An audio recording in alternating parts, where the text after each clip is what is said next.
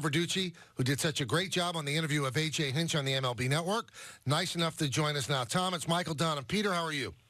Great. Thanks for having me, Mike. Um, you know, just uh, I watched that, that interview with much interest, and, and I opened the show, Tom, with the answer that he gave when you asked about the buzzers. I mean, he could have said that's absolutely not true, and he leaned on the Major League Baseball you know, they investigated and found nothing. I think that to me, that tells me that there were buzzers involved. Is that the way you inter- interpret it? Uh, no, I can see why people go there though, because I thought he was very forthcoming otherwise, and I think there was you could see on his face and, his, and in his words how authentic he was. Uh, no, I mean, listen, I, the reason I say that is because MLB did investigate that. As you know, more than 60 people were interviewed, more than 40,000 emails. Um, and the players walked in there. What MLB does when they interview people in an investigation, they say, listen, the only way you're getting get, get in trouble here is if you're not honest.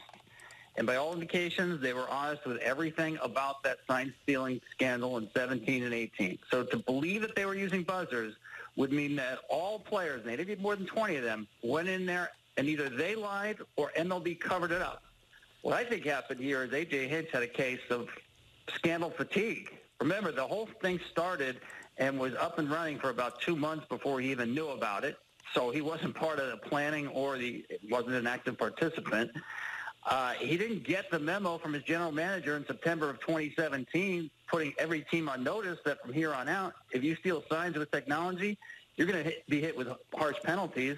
And then the same week last week, he finds out that Jeff Luhnow, the GM, is running this program called Operation Codebreaker, in which his backroom guys are using technology in the scouting sense to get signs. He knew nothing about that.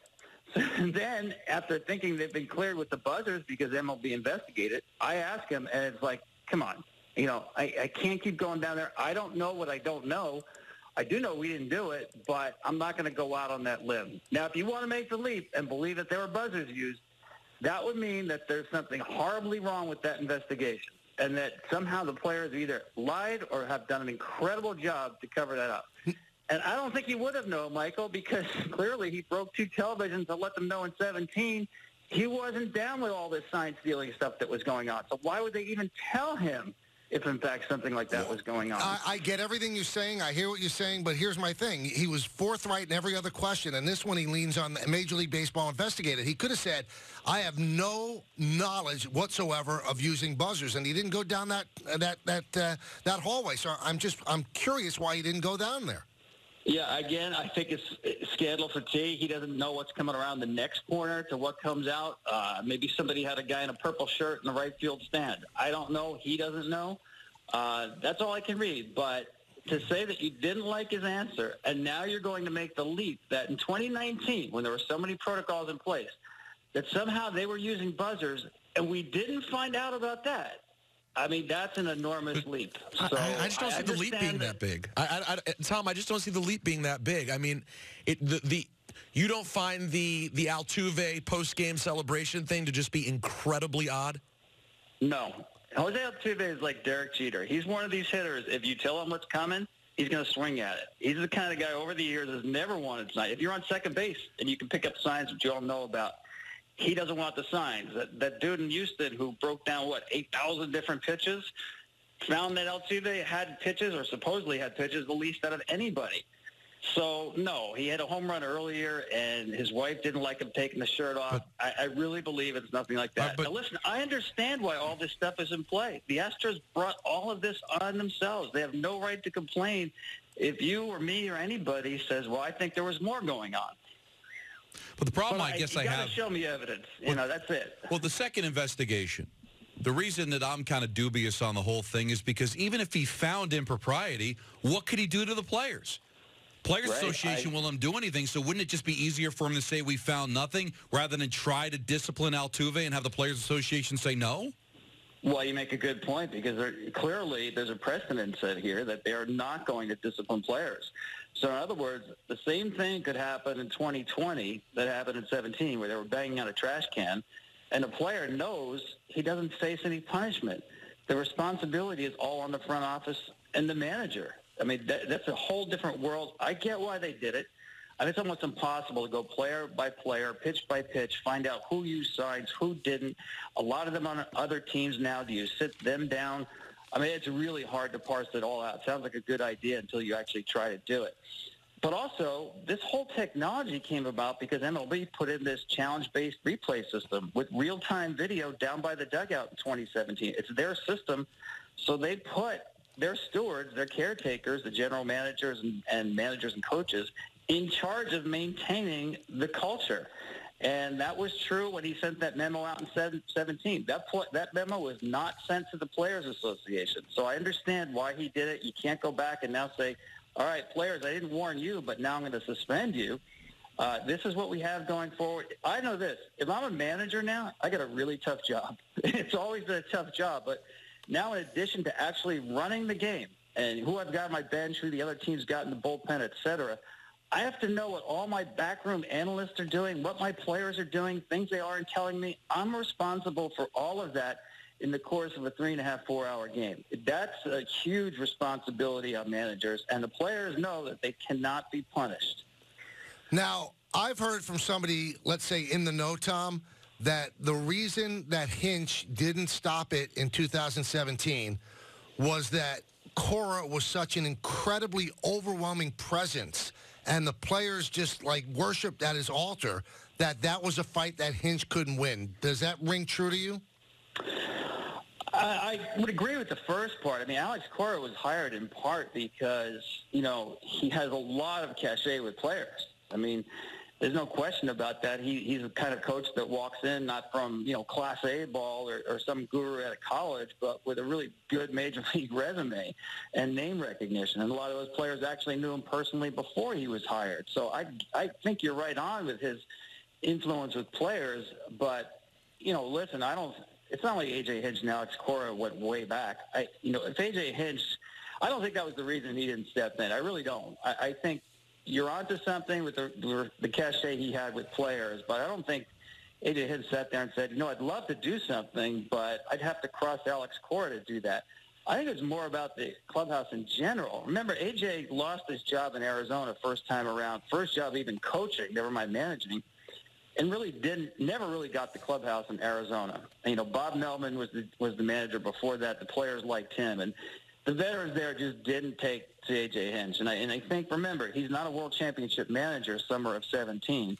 And, and I think he missed an opportunity to really put the hammer down. We talk a lot now about managing. What's, it's about connecting with players, right? Mm-hmm. I think he didn't want to risk his own personal connection with his clubhouse, especially vis-a-vis his experience in Arizona. Now, he claims if it happened in 19, you know, he's been through a lot more, that he would do that that's conjecture, but certainly in 17 he wasn't up to it. Now, I understand that Manfred's hands are tied having to deal with the Players Association, especially so close to the expiration of the CBA. But could he have gone to Tony Clark and said, listen, you've got a lot of your constituents who are upset about this. You've got to let us go after the players. The few have to fall for the many you know, since nothing really happened to the players, we've seen a lot of players very upset. Now, we're coming from a bias perspective here in New York because a lot of people are up in arms. I'm not sure if they're talking about it all through Major League Baseball.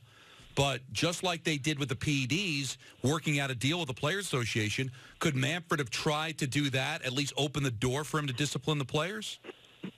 Yeah, I don't think so. Well, I shouldn't say he should. He couldn't have. He could have. I think would be extremely difficult. First of all, you know, you can't really get full cooperation in the investigation unless you gave the players immunity. I don't think they go in there and start singing if they knew they themselves were subject and, and incriminate themselves to what was going on there. That's one thing. Yes, the union also has the right to to uh, file a grievance.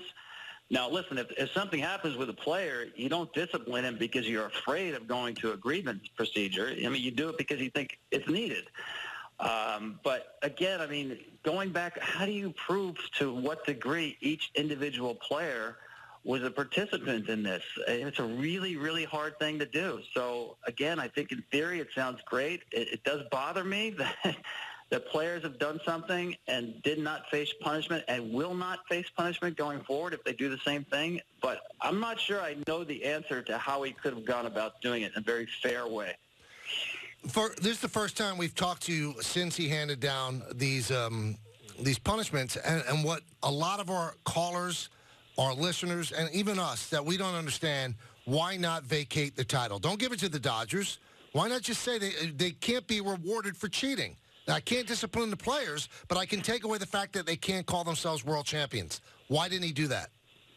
Well, I mean, nothing like that, as you know, Michael, has ever been done in baseball, mm-hmm. where you you know you took an eraser to history and, and undid something. Um, so, I mean, first of all, there was no precedent for it. There was no precedent for suspending anybody for sign stealing. I mean, th- this I thought was a harsher penalty than I think a lot of people expected going in, only because lot, throughout history it's been treated with a wink and a nod.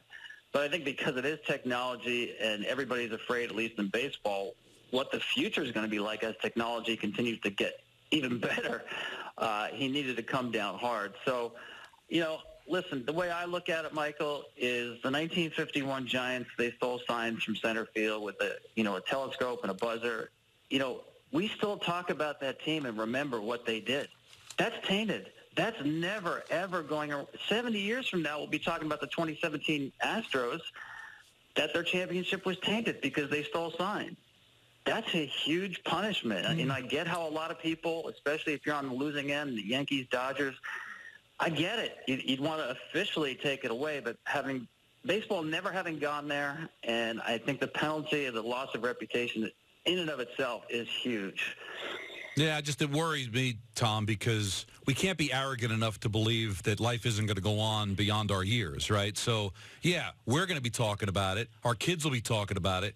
But will their kids be talking about it? Will their kids' kids be talking about it? As long as that title stands there, the history can get blurred. If you take it away, then it can't get blurred. You'll have to investigate, like the World Series that was taken away because of the influenza epidemic, you know, or or the 1919 scandal. You know that that resonated, but is that remembered 100 years ago the way it was remembered by us when we were kids? I want to know 150 years from now whatever way that uh, our children's children will look things up, it could still get lost in history. Yeah, it's reverberating now, but a bunch of years from now, it's still going to say Astros won the 2017 World Series. History may not remember the scandal the way we do.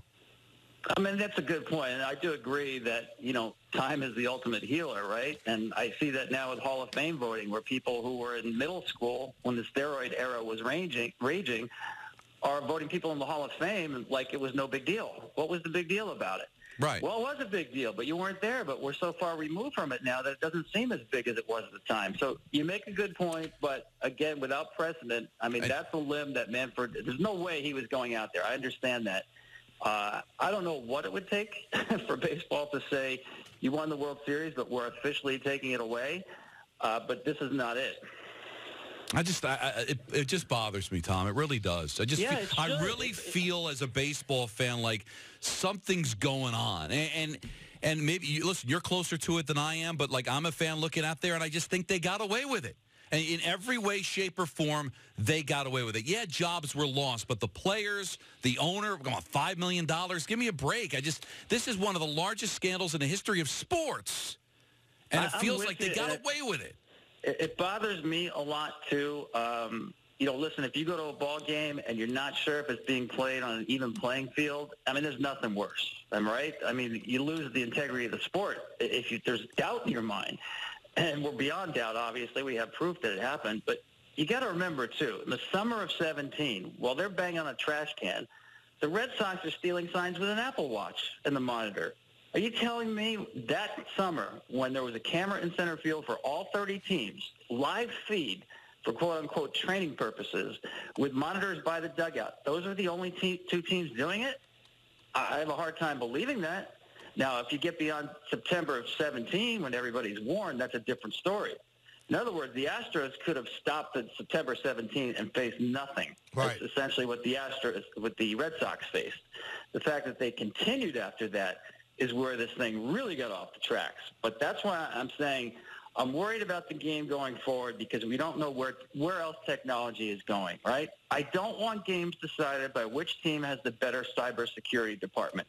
You know, games are being played in the last few years with people in back rooms scouring over video and trying to figure out where the advantage lies. I don't want games decided by that. I want American League American Legion baseball.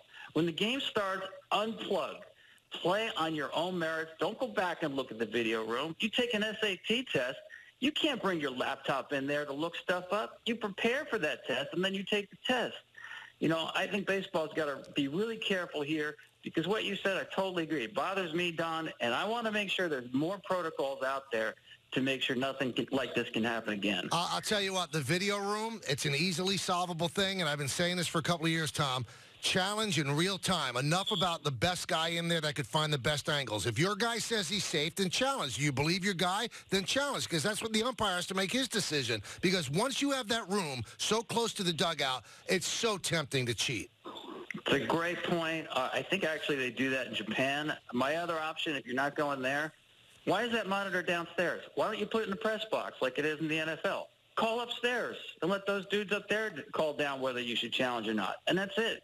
Why, why do you have people who can be in uniform, who can be even near that monitor?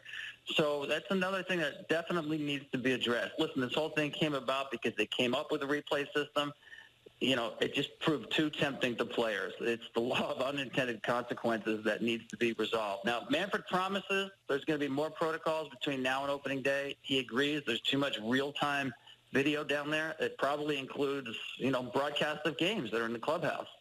Uh, he realizes this is big, and he, and I think the lessons of the steroid era, Mike, uh, really apply here as well. MLB was late to the party with addressing the steroid issue. When they did, they got there incrementally. So I think Manfred here is trying to be as responsive as quickly as he can and not get the penalties incrementally. I believe, and one, one final thing before we let you go, I believe that Hinch and Cora will manage again in the big leagues. Are you? Well, I'll take Hinch first. I, I do think he's going to be someone who will be in play after the World Series. I think he is, uh, there's no question he'll have served his penalty. He's one of the better managers in the game. He was not an active participant. He has shown public contrition for it. All those in his favor. Cora, we'll see what his suspension is. I mean, I'd be surprised if it wasn't more than one season because he was an active participant. I think in that case, he may have to, there may have to be a, a transition period where he comes back as a coach, instructor, you know, assistant, GM or something, and work his way back to a leadership position, to jump back into that position after his first time in the dugout, which is what it was, his first job in the dugout. He was on the phone replay room in his first month of that season getting signs from the replay guys. It, that would scare me to just give him the keys to the car right away coming back. But I do think he's a, he's a good baseball guy. He's a good person. Uh, and he's young enough that I wouldn't rule out someday him coming back as well. And I don't think Luhnow gets another job. Uh, probably true, Mike. Um, as you know, he, he's kind of an iconoclast. He does things his own way. He's not one of these guys who has a, a circle of tight friends around the game or are going to give him a soft landing spot to work his way back in the good graces. Um, so you're probably right. Um, you know, again, I, I go back. that the worst thing for me in that report is when the commissioner sent his memo out and it went to the front offices, and according to the report, Luhnow did not circulate the memo nor did he go downstairs and say to his coaches and manager, guys, are we in compliance with this? Because we better be. If either one of those things happen, we're not here today. I mean, that's a fireable offense, and I'm not sure if you're looking for someone in any kind of a leadership position that you can even look past that for a second chance. All right, Tom, thanks so much. We'll see you at the park. You got it, man. Thanks.